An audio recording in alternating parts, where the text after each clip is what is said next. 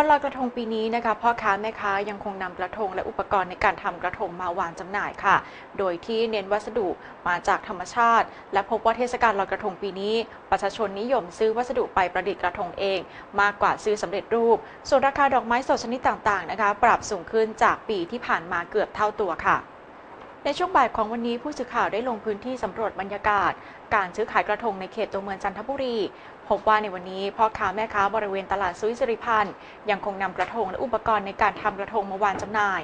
โดยกระทงที่นำมาจำหน่ายส่วนใหญ่ เน้นวัสดุที่มาจากธรรมชาติ อาทิต้นกล้วยใบตอง เปลือกข้าวโพด ที่ประดับประดาจัดเรียงตกแต่งอย่างสวยงาม ซึ่งกระทงที่ทำจากวัสดุธรรมชาติ อย่างเช่นใบตอง และใบไม้ทั่วๆไป ราคาจะเริ่มต้นอยู่ที่ใบละ 30 บาทขึ้นไป ส่วนกระทงที่ทำจากเปลือกข้าวโพดที่มีการประดิษฐ์อย่างสวยงาม เริ่มต้นที่ใบละ 89 บาท พร้อมทูบและเทียน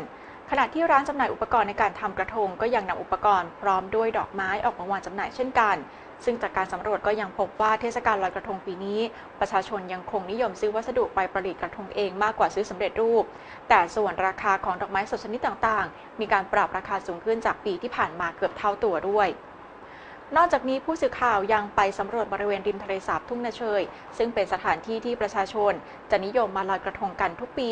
ก็พบว่ามีพ่อค้าแม่ค้า มาตั้งร้านจำหน่ายกระทงกันอย่างคึกคักหนาตา เพื่อเตรียมขายให้ประชาชนที่จะเดินทางมาลอยกระทงในค่ำคืนวันนี้โดยพบว่ากระทงส่วนใหญ่ที่นำมาจำหน่าย เน้นทำจากวัสดุธรรมชาติ และเน้นทำจากขนมปังเพื่อเป็นอาหารปลา ราะในทะเลสาบทุ่งนาเชยมีปลาค่อนข้างมาก หากประชาชนนำกระทงไปลอยแล้ว นอกจากจะเพื่อเป็นการขอขมาแม่น้ำคงคา ยังเป็นการทำบุญด้วยการให้อาหารปลาด้วย